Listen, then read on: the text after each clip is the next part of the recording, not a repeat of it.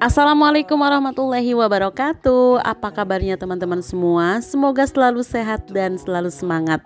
Ketemu lagi sama aku ibu rumah tangga dengan enam orang anak yang hobinya bersih-bersih rumah. Di video kali ini aku akan kembali deep clean rumah. Ini yang pertama aku mau deep clean kamar jadi hari ini tuh mau ganti spraynya, mau dicuci juga, mau dibersihin sampai ke kolong-kolongnya. Kira-kira teman-teman berapa kali sih dalam seminggu atau sebulan mengganti spray? Kalau aku sendiri biasanya sih satu minggu satu kali itu minimalnya. Tapi kalau misalkan spraynya itu masih bersih, paling dua mingguan udah aku cuci. Malum aja di sini tuh tempat tidur bareng sama anak-anak gitu ya teman-teman. Dan ternyata setelah aku baca-baca artikel, ada waktu yang sangat tepat untuk mengganti spray yaitu satu minggu satu kali. Itu adalah waktu yang sangat ideal untuk menggantinya.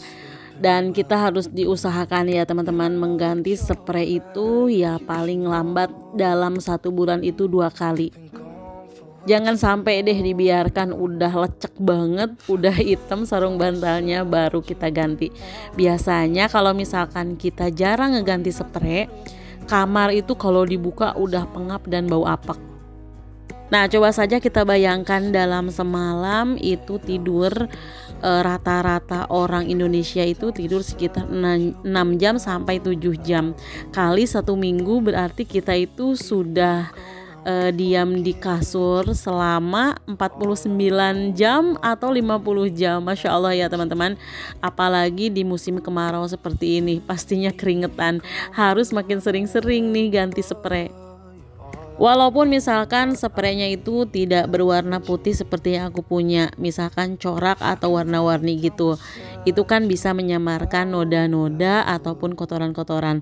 Tapi tetap saja mengganti spray itu agenda yang wajib dilakukan.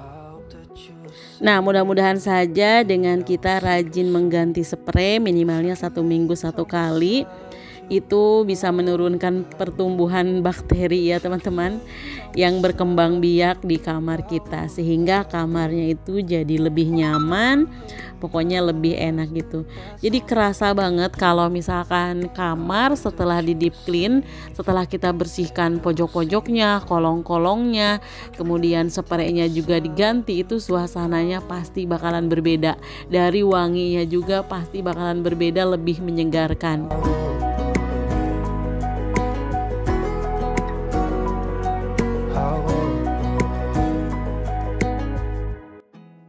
dan ternyata memang ada banyak banget manfaat ketika kita rajin membersihkan kamar terutama ganti spray. Yang pertama biasanya itu ya tentu untuk membuat kamarnya itu lebih nyaman.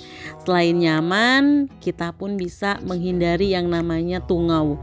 Tungau itu biasanya hadir ketika di kasur kita jarang dijemur. Makanya minimal satu bulan sekali atau berapa bulan sekali gitu ya teman-teman. Nah di musim kemarau saat ini waktunya untuk dijemur-jemur. Walaupun tidak dijemur di vakum ataupun disedot juga bisa. Semisalnya kita punya alatnya. Kalau enggak ya diganti spray kayak gini pun itu bakalan meminimalisir terjadinya yang namanya tungau. Jadi perkembang biakannya itu bakalan kita hentikan kalau misalkan kamarnya selalu bersih. Nah, manfaat yang kedua kalau misalkan nggak ada tungau itu uh, bakalan lebih sehat terutama untuk kulit. Nah, dulu anak aku yang di pondok itu pernah terserang yang namanya penyakit skabies gitu ya, teman-teman. Jadi penyakit kulit yang gatal-gatal. Nah, itu bakalan uh, akhirnya ke seluruh anggota rumah. Kalau misalkan satu orang udah kena, udah semuanya pasti kena.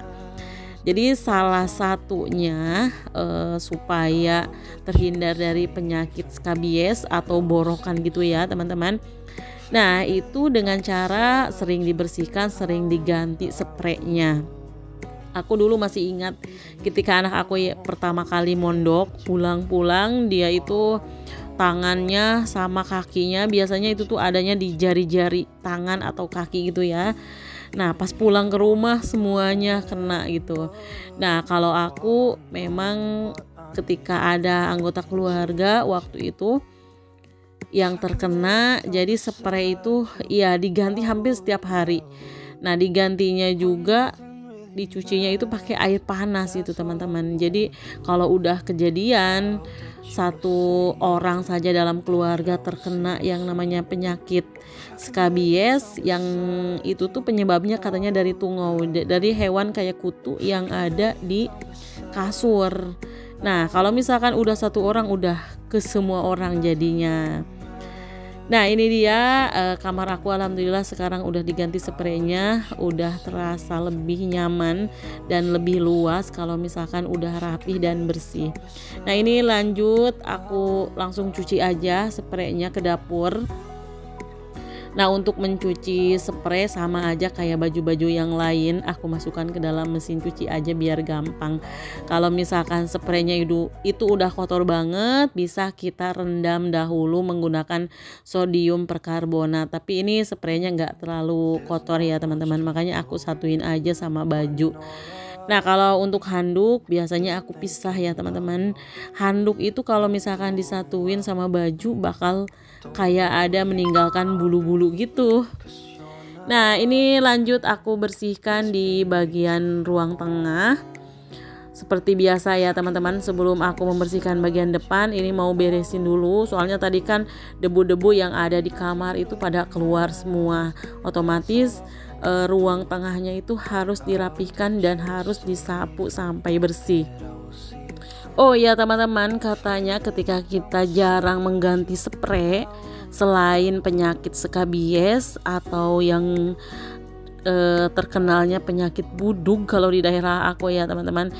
Nah, ada penyakit yang uh, penyakit lain yang disebabkan karena jarang mengganti spray, yaitu bakalan munculnya jerawat di badan. Jadi jerawatnya itu bukan cuma di wajah tapi di badan gitu. Mungkin karena bakteri-bakteri tadi ya ketika kita lagi tidur kan pasti keringetan. Keringetan itu yang bikin lembab. Kalau misalkan di tempat lembab bakteri-bakteri itu bisa tumbuh. Ada juga jamur.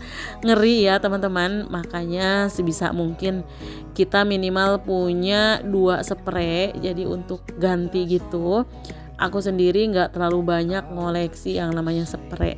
Jadi kalau misalkan ini dicuci berarti diganti sama yang satu lagi. Nah yang itu dicuci lagi di jadi nggak nggak pernah sampai numpuk gitu spraynya banyak Nah ini lanjut juga ngeberesin bagian depan di rumah aku. Ini tuh masih pagi-pagi ya teman-teman.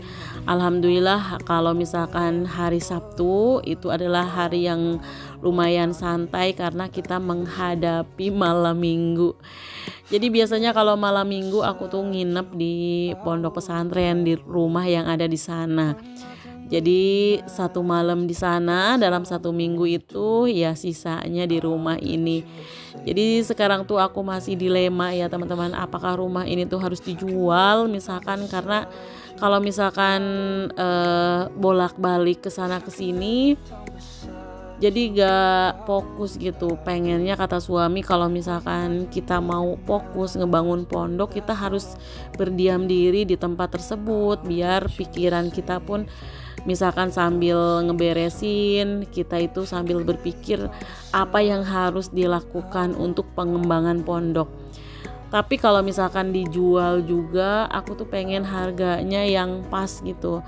Kalau misalkan dijual pengen kembali bisa ngebangun di sana. Percuma dijual juga kalau misalkan nggak bisa sampai uh, kebangun kembali.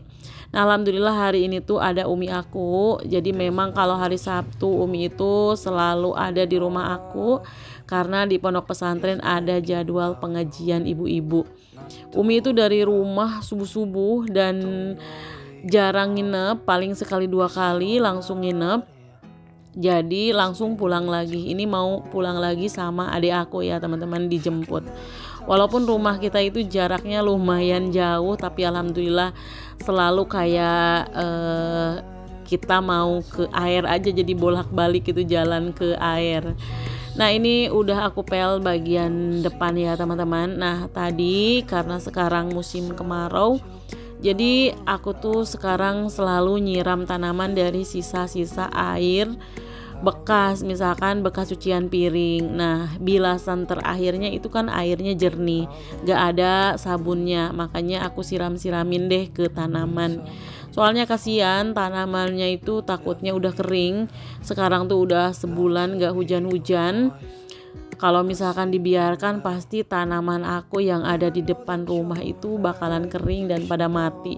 Bahkan kemarin tuh udah ada satu pot yang mati jadi nggak ketahuan gitu waktu uh, aku berangkat reunian aku tinggalkan dan aku lupa nitip tanaman di depan makanya nggak ada yang nyiramin. Akhirnya satu pot udah uh, korban gitu ya teman-teman korban kekeringan sampai mati. Tapi nggak tahu juga itu mati sampai ke akar-akarnya atau enggak. Tapi alhamdulillah tiap hari aku coba disiramin mudah-mudahan nanti tumbuh lagi jadi itu adalah kegiatan aku di siang hari gitu ya teman-teman Nah ini kegiatan aku di pagi hari setelah uh, pengajian di pondok pesantren Jadi waktu itu kan bikin bak bak penampungan. Nah, alhamdulillah udah selesai. Sekarang tinggal ngebersihin bak yang gedenya. Jadi itu kan ada tiga.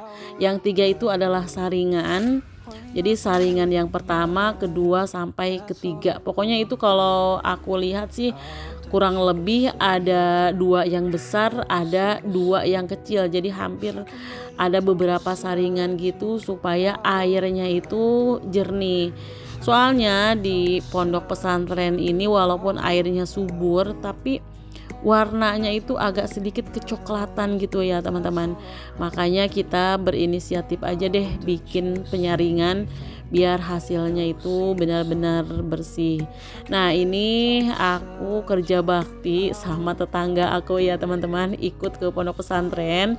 Alhamdulillah mau ngebantuin untuk ngebersihin ini baknya jadi baknya ini penuh lumpur penuh kotoran juga kalau misalkan mau dipakai otomatis harus dibersihkan. Ini anak-anak juga pada ikut. Jadi ini e, penyaringannya untuk sementara dibiarkan dulu. Soalnya kita mau mencucinya sampai bersih ke penyaringannya juga. Ini udah lama dibikin ya teman-teman. Cuma baru sekarang ini diperbaiki dan sekarang mau dipergunakan karena sumur udah benar-benar gak bisa dipakai lagi. Nah kalau misalkan air yang warnanya kuning itu uh, ke bak mandi juga bakalan cepet kotor. Nah pengalaman aku udah beberapa kali kamar mandinya dibersihkan itu meninggalkan noda-noda yang kayak kuning karatan gitu. Aku juga takut berbahaya kalau misalkan uh, make air yang kayak gitu Nah, alhamdulillah ada orang yang nyaranin katanya bikin aja saringan. Nanti biar hasilnya itu air jadi lebih jernih. Tapi tetap aja kalau misalkan untuk air dikonsumsi untuk minum itu kita beli aja ya teman-teman. Jadi lebih baik beli aja air galon gitu. Untuk kopi juga sama dimasak dulu air air galonnya itu atau dipanaskan dulu. Nah, jadi untuk air ini tuh kita gunakan hanya untuk mandi aja sama cuci baju sama bersih-bersih yang lainnya nah kira-kira di tempat teman-teman gimana nih airnya Uh, jadi kadang-kadang kalau misalkan bekas sawah atau bekas rawa memang kayak gitu. Jadi ini tuh uh, tanahnya diapit sama dua bukit gitu. Jadi kita seolah-olah ada di lembahnya gitu ya teman-teman enaknya sih kalau air subur banget walaupun ini kemarau tapi air di selokan itu masih ngalir gede. Tapi kalau misalkan eh, lama kelamaan airnya semisalnya kita tampung di dalam bak maka di baknya itu bakalan ada warna-warna kuningnya dan cepet banget kotornya. Jadi kayak mengandung apa ya gitu Nah, alhamdulillah setelah kita kerjain ya teman-teman, ternyata bisa selesai juga. Itu udah bersih banget sampai tanah-tanahnya itu hilang dan kembali mau ditutup. Setelah kerja bakti langsung kita makan bersama ini botram ya teman-teman bikin pencok kacang juga karena kacangnya udah pada gede-gede ternyata Alhamdulillah videonya itu udah hampir selesai. Gak kerasa banget ya teman-teman. Terima kasih yang sudah menonton video aku dari awal sampai akhir. Mudah-mudahan selalu ada manfaat yang bisa diambil. Sampai jumpa di video berikutnya. Wassalamualaikum warahmatullahi wabarakatuh